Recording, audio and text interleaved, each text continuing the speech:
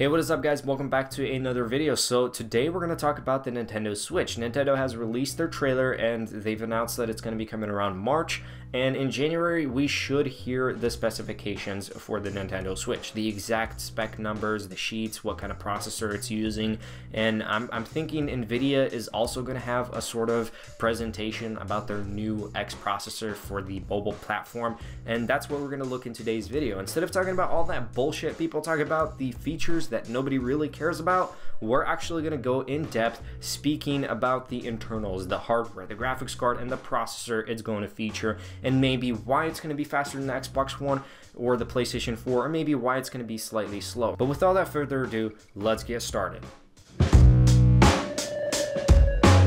Okay, so looking over the Nintendo Switch, before we actually get started, I wanted to let you guys all know that everything that we're going to be talking about in today's video is personally my own opinion, and you have to take it seriously. So in March, when the Nintendo Switch is going to be released, we'll actually know the true power performance that it's going to offer with uh, some of the third-party developers that are making their games for Nintendo Switch. So we're just going to have to wait and see to be exact, but I'm just going to try to give you as much accuracy as possible uh, from somebody who actually understands how hardware and software works and give you an in-depth, uh, detailed video. And in January, I think the 10th or 12th, we'll actually know 100% what the Nintendo Switch is going to offer. It's been two years since NVIDIA released their X1 processor, so I'd assume that after two years and with the Nintendo Switch being announced, you know, for its release in March and the spec sheets in January, I'd assume that NVIDIA is also going to basically announce their brand new processor or graphics card, which is the Tegra X2.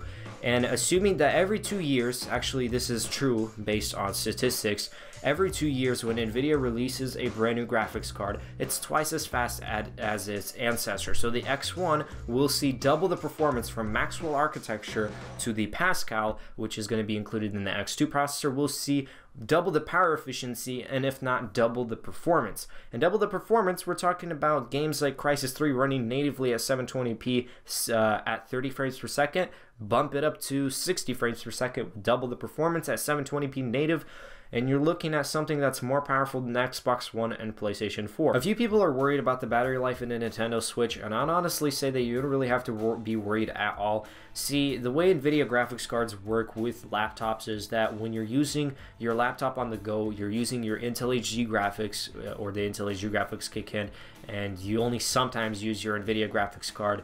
And the NVIDIA graphics card inside your laptop while you're on the go downclocks itself to around 70%. So it's not only uh, heating less, so you don't actually have to use your laptop's fan, but it's also uh, basically not consuming as much power, so you get more battery life. That's what we're going to see with the Nintendo Switch, is we're going to see the core clock of the graphics card downclock itself to say 250 megahertz uh, from 1500 megahertz, and on the go you're going to get great battery life and still reasonable performance, kind of like from the Nintendo 3DS, maybe better performance than that, kind of like tablet performance. So you'd see similar graphics to tablet games. But when you're actually docked in to the dock and playing on a 1080p screen, you're going to see the performance go up and boost itself. That's why they include the fan. The fan is going to be passive cooling. You're not going to see the fan kick in when you're on the go, but when you're not on the go and you're plugged into the dock, I'd see why they'd include the fan because it is a very powerful graphics processor um, from NVIDIA and you'll see the fan kick in and the core clock of the graphics card is going to overclock itself. But that's pretty much it what I have to say about the Nintendo Switch. About the titles, I don't really care about that right Uh, what we really need to understand is the hardware of the Nintendo Switch and in January we're going to find out the true specifications of it. But if you guys did enjoy, hit that like button. If you didn't like my video, go ahead and hit that dislike. If you want to see more future videos, subscribe and I'll catch you all in the next episode.